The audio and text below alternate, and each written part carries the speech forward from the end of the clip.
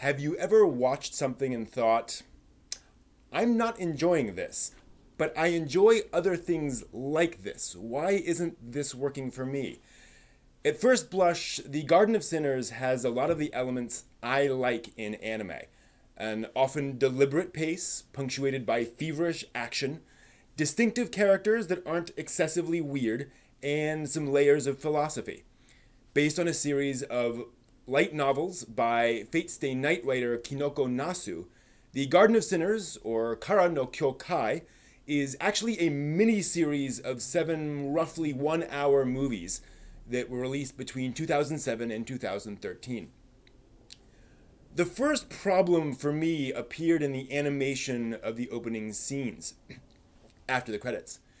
Even for anime of this era, there are a lot of still shots or shots of characters where nothing moves except for their lips.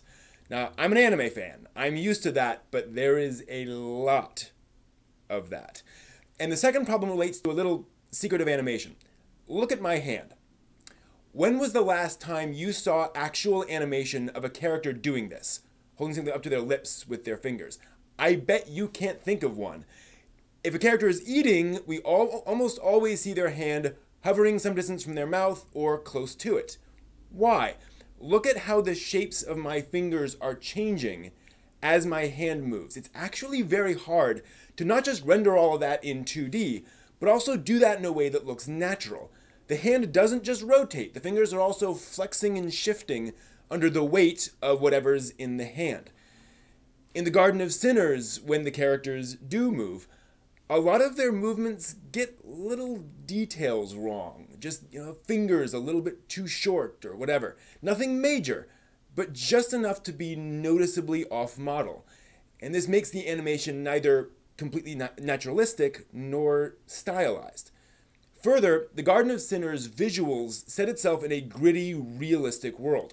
While there are supernatural elements, the film does an admirable job of matching foreground colors to backgrounds making the characters feel like they're actually standing in a corner of a room or standing on a street corner. But because that animation is often just a little bit off, I felt myself pulled out of the environment, realizing that I'm watching anime characters.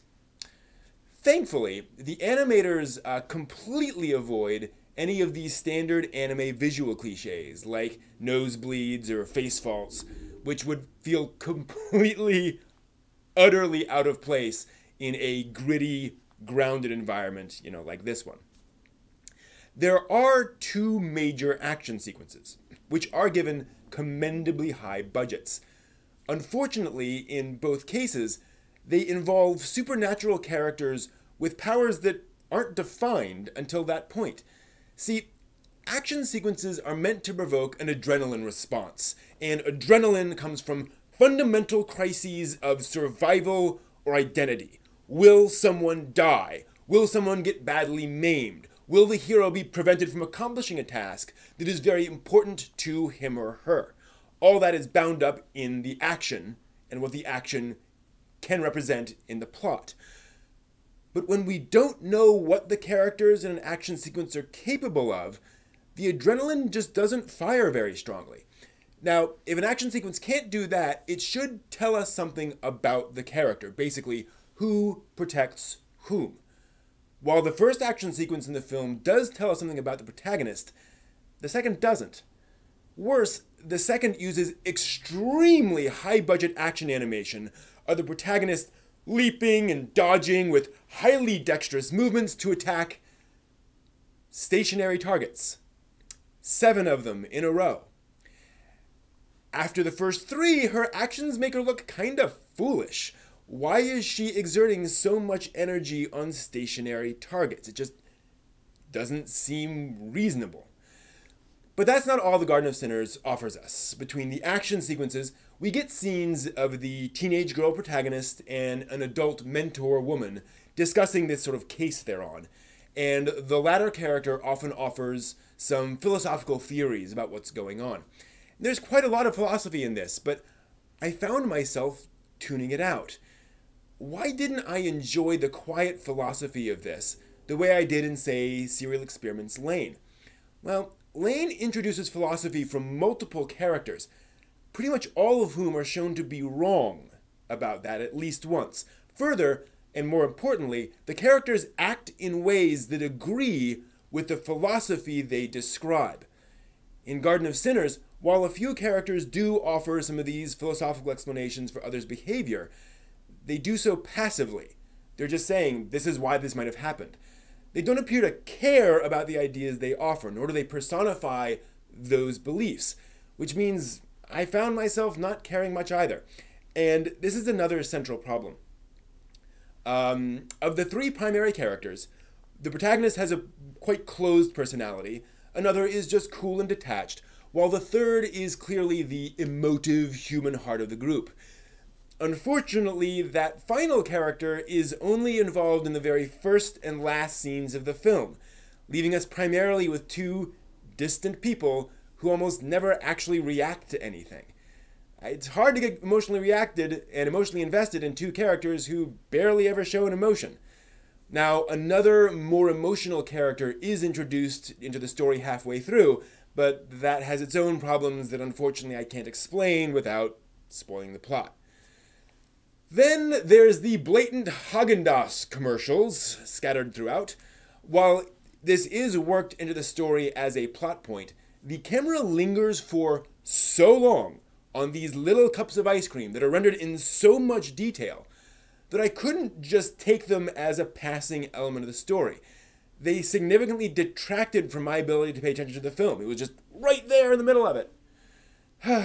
Speaking of, though, um, the music, while beautiful on its own, and one of those soundtracks I would like to own, it feels extremely big.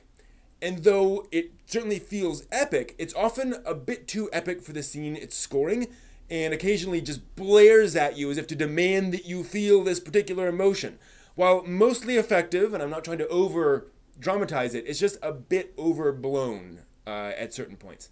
Now, there are some really interesting visuals. The story involves the suicides of teenage girls at an old apartment building that's scheduled for demolition.